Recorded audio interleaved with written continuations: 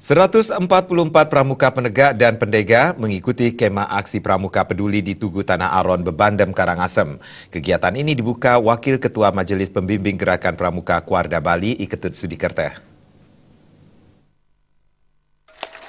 Ketua Pelaksana Kegiatan Bagus Partawijaya mengatakan, untuk pertama kali kuartir daerah Bali menggelar perkemahan aksi pramuka peduli daerah tahun 2016. Perkemahan diselenggarakan di Tugu Tanah Aron, Buanagiri, Kecamatan Bebandem, Karangasem, mulai 17 hingga 19 November 2016. Kema Asi Pramuka Peduli mengusung tema, Karena Pramuka Kita Peduli, Mari Beraksi Untuk Negeri. Kegiatan ini diikuti 9 kuarcap sebali dan 144 pramuka penegak dan pendega. Peserta di kegiatan perkemahan dididik sebagai relawan yang dipersiapkan untuk menjadi relawan di dalam penanggulangan bencana. Wakil Ketua Majelis Pembimbing Gerakan Pramuka Kuarda Bali, yang juga Wakil Gubernur Bali Ketut Sudikerta, sangat mengapresiasi kegiatan aksi Pramuka Peduli ini. Sudikerto juga mengapresiasi perkembangan pramuka saat ini, baik dari segi manajemennya maupun kualitas kemampuan anggotanya dalam menangani bencana.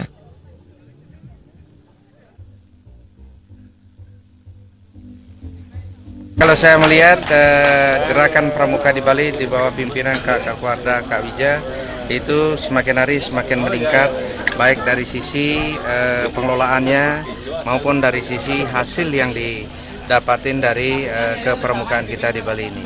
Ini memberikan satu uh, ciri bahwa pramuka itu memang menjadi satu keharusan yang harus kita tumbuhkan ke depan ini di dalam uh, kurikulum uh, dunia pendidikan kita. Karena ini sangat bagus untuk mendidik moral, mental daripada budi pekerti masyarakat generasi muda kita. Sudikerta juga menambahkan keterlibatan pramuka dalam menangani bencana alam masih sangat diperlukan Pramuka juga mendapat pelatihan khusus dalam menangani bencana. Pramuka memiliki jaringan sampai ke tingkat bawah, sehingga mempunyai kecepatan dalam memberikan pertolongan kepada korban di lokasi bencana.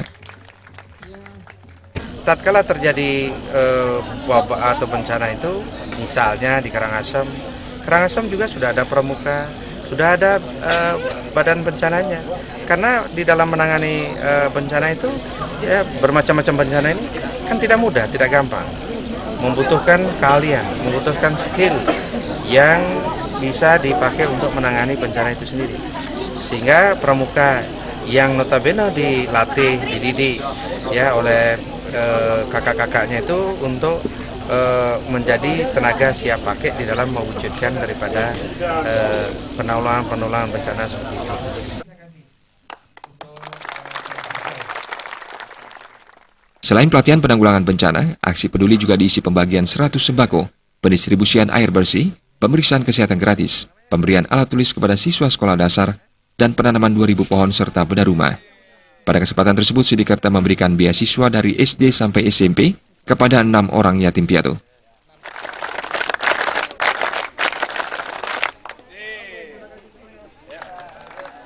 Artaya Bali TV